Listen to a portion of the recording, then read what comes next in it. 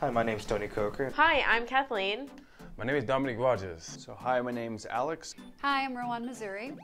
What we're doing today is playing a phish threat awareness game. It's spot the phish, see if uh, you can tell the difference between a real phishing attack and a fake one.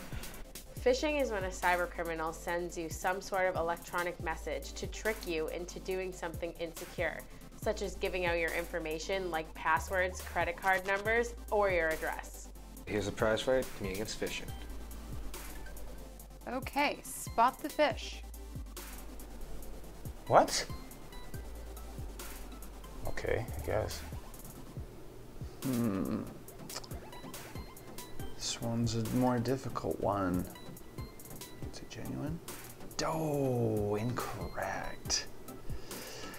Granted, I don't know the bank's actual URL. Yada yada yada. Click here to unzip the attached file. Definitely phish. Yes. I like bonus points. This is looking pretty good. I'm gonna say genuine. Booyah! I'm thinking this one's phish because it just looks kind of funky. Yeah.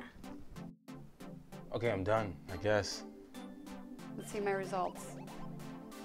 All right, four out of five. Not bad.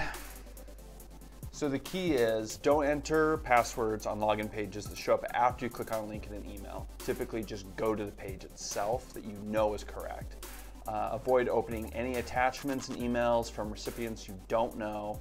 And if any, if you're ever in doubt, if it ever just seems slightly fishy, just don't give it out.